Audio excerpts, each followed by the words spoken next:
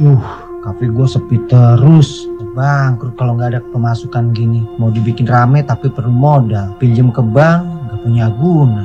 Tutup aja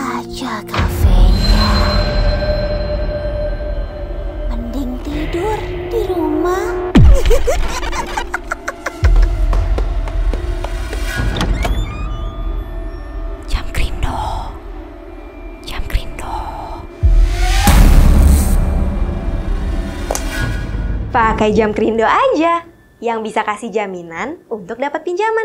Jadi nggak pusing lagi soal agunan. Jam Krindo mempermudah usaha yang tidak memiliki agunan atau yang agunannya kurang untuk mendapat kredit dari bank. Dengan jam Krindo, usaha lancar, pelanggan pun senang. Bismillahirrahmanirrahim. Assalamualaikum warahmatullahi wabarakatuh. Alhamdulillah, alhamdulillahirabbil alamin. Wabihi nasta'inu ala umurid dunya waddin. Wassalatu wassalamu ala asrafil anbiya'i wal mursalin wa ala alihi wa sahbihi ajmain. Amma ba'du. Qala Allah Ta'ala fi kitabihil karim. Bismillahirrahmanirrahim. Ya ayyuhalladzina amanu kutiba alaikumus siyam kama kutiba alal ladzina min qablikum la'allakum tattaqun. Al-ayah. Kawan akurat yang dirahmati Allah Subhanahu wa taala. Tak terasa bulan suci Ramadan telah tiba.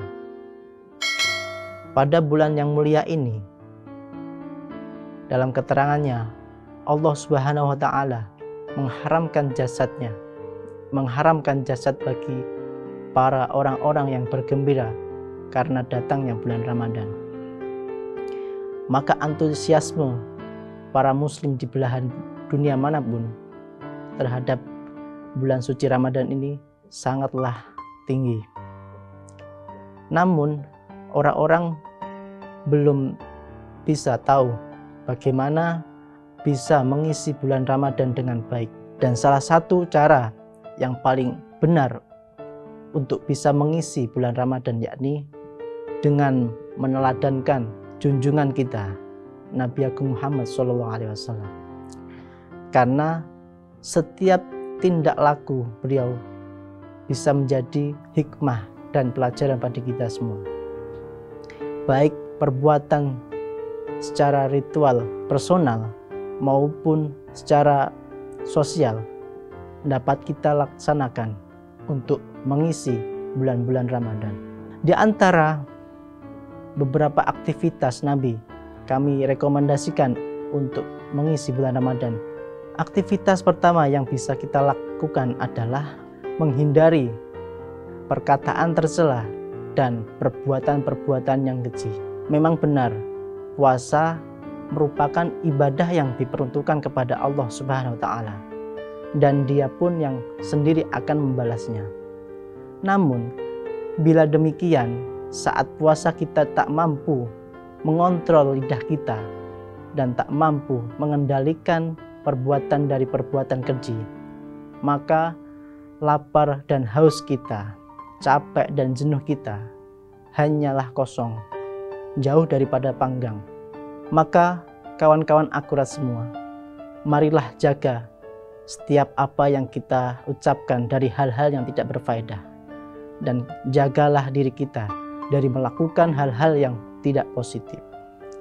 Kemudian, aktivitas yang kedua, yakni menjaga qiyamul lail.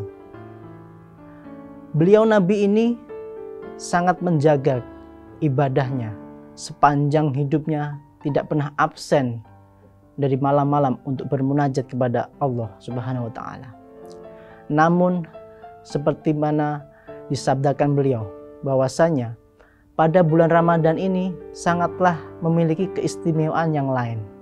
Sehingga pada bulan Ramadan ini malam-malam Nabi dipenuhi dengan ibadah-ibadah yang lebih maksimal lagi.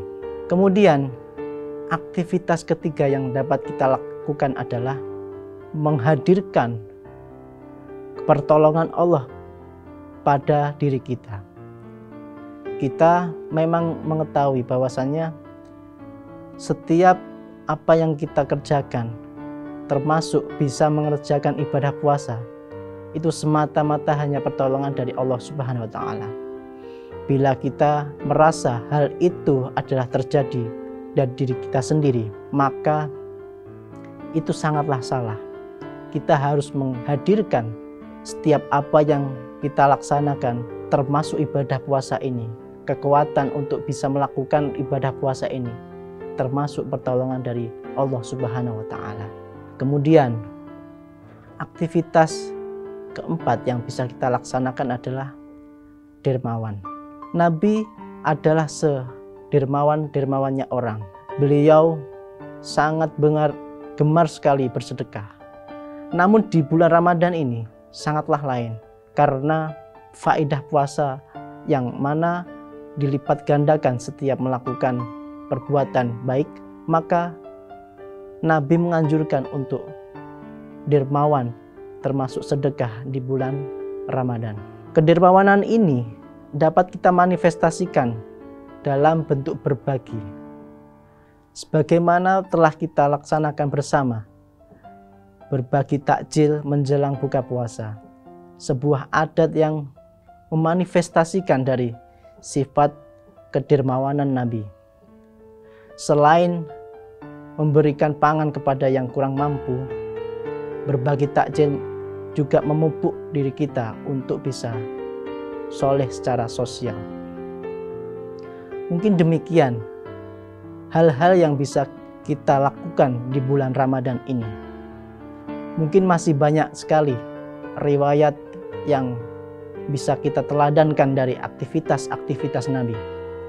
Namun akibat dari keterbatasan dari kami, maka kami sampaikan beberapa hal saja yang sekiranya bisa kita laksanakan pada bulan Ramadan ini. Demikian apa yang telah saya sampaikan. Ihdinas siratal mustaqim. Wabillahi taufik wal hidayah. Wassalamualaikum warahmatullahi wabarakatuh.